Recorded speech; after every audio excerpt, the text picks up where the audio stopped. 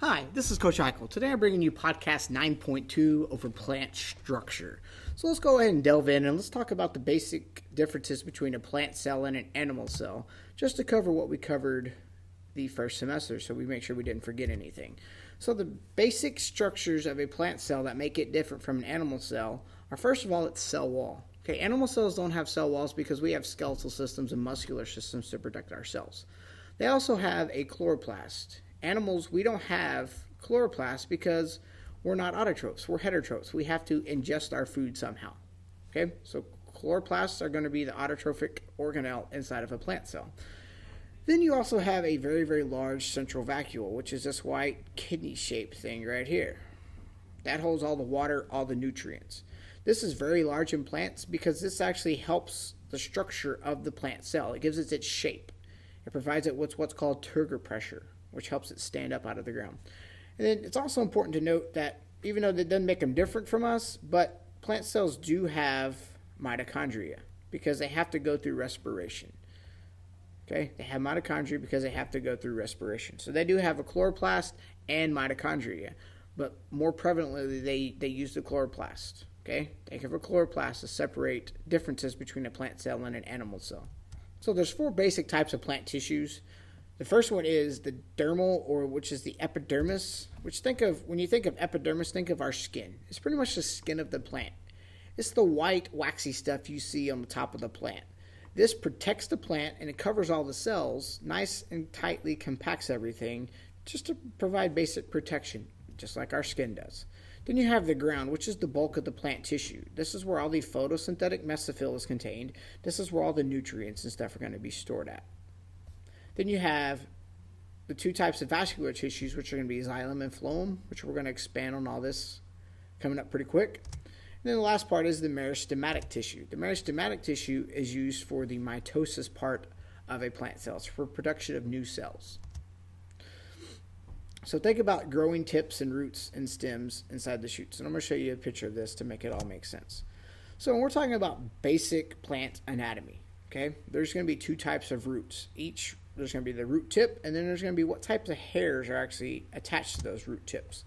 So the first type is a fibrous root. A fibrous root is a root that spreads out, has many, many flat roots that spread out over a very, very large surface area. You're going to most likely see this in monocots. Okay? You're going to see one big unit with a lot of little branches coming off of it. That is a fibrous root. If you didn't know what roots are used for, they're used to anchor the plant into the soil, absorb minerals and water, and actually also store their food. So we know this is a fibrous root. We know that number two down here is a taproot. When you think of a taproot, think of a carrot. Okay? So it's going to have one main central root with very, very small lateral or branches coming off of it. These are just here to absorb the the surface area to increase the absorptive surface area so that the plant itself absorbs more water. Then you have smaller root hairs, which you see mainly in aquatic plants. This also increases the absorptive surface area because plants need lots of lots of water to survive. So we'll look at the root structure. The root cap. Root cap is going to be the protective covering of the root tip, which is going to be this white part right there. Then your next part is going to be the meristem tissue. This is the region of the cell where the division or the actual mitosis occurs, which is going to be this secondary part, the part in blue. Okay, that's going to be your meristem. That's where all the mitosis occurs. Okay, it's the region of cellular division. So back to plant anatomy. We talked about the root system. Now let's talk about the shoot system, which is the part that you actually see most of the time. Okay, you have what's called nodes or internodes, which are going to be these small branches right here. Okay, then you have buds, which once something buds, that's going to be your bud. Okay, then you're going to have your flower buds and actual flowers itself.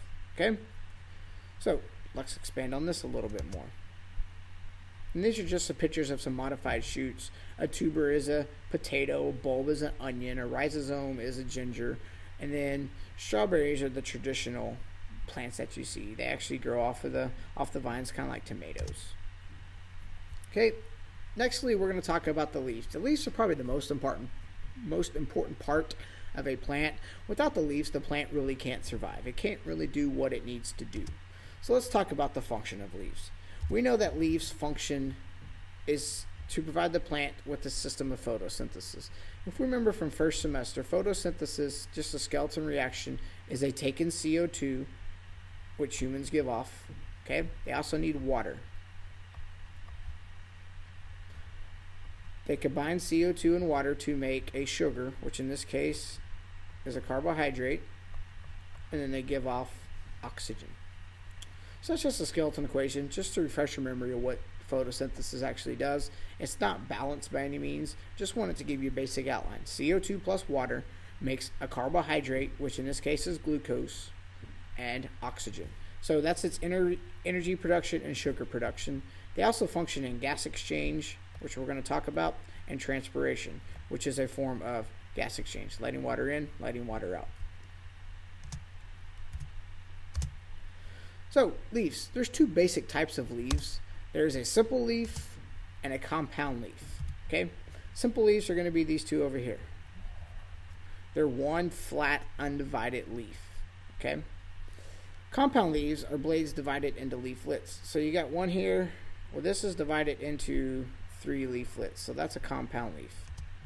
Then your petiole or your stalk is where the vascular tissue is actually contained at, which is going to be this part right here. It attaches to the stem contains the xylem and the phloem, which we're going to talk about what xylem and phloem are here in a few more slides. Okay, so when you're looking at epidermis, think about what the cuticle is. The cuticle is this square part right here. And think about a fingernail on a human. Both of them are used to prevent water loss, to prevent dehydration. Okay? The lower epidermis, which is going to be the bottom part of the leaf, is what contains the guard cells and stomata. What's important about the guard cells and stomata is they're used for gas exchange. Okay, so they take CO2 in, they let oxygen out. They take CO2 in, they let oxygen out. They let CO2 in, they take oxygen out. Okay, CO2 in, oxygen out. Guard cells and stomata. They control water loss by taking in CO2, letting out oxygen.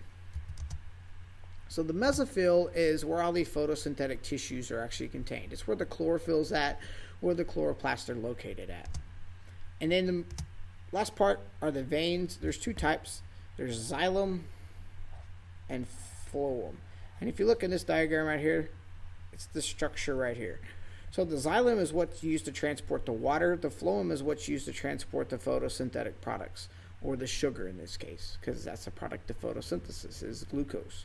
So the veins of this are xylem moves the water, the phloem is going to move everything else or the food. Here's just some pictures of some leaves, some pea leaves, some cacti, some succulent leaves, which you see a lot of those in the spring. And then poinsettias, which is the flower of Christmas because they're a real pretty red leaf.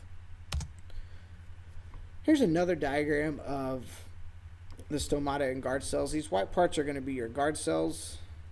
The stomata is going to be this part here in the center. Now these open and close based on CO2 and oxygen. So they take CO2 in, they let oxygen out, or they go through what's called transpiration. If you think about transpiration, if you put a plastic bag over a group of leaves, okay, the condensation that's going to form on the plastic bag is due to transpiration. It's the plant trying to get rid of water and, to, and bring in carbon dioxide. Okay? If you think about the mass of a tree, most of the mass of the tree comes from the carbon dioxide absorbed through the stomata and guard cells. So both of these systems work together. The shoot system and root system both depend upon each other. So since since these roots is where all the photosynthesis takes place, the roots depend upon the leaves to transport down all the sugar. In turn, the leaves depend upon the roots to transport to transport all the waters and minerals up to the shoot system. So they both depend upon each other, and without one, the plant doesn't do what it's supposed to do very well. So this has been Coach Hikel. If you have any questions, please feel free to email me or any of your teachers. Have a great day, and bye.